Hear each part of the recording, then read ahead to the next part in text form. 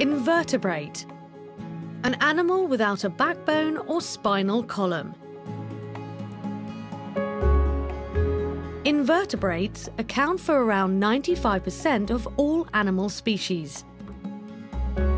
Modern classifications include around 30 subgroups, from sponges and flatworms to more complex animals such as mollusks, insects, arachnids, and crustaceans.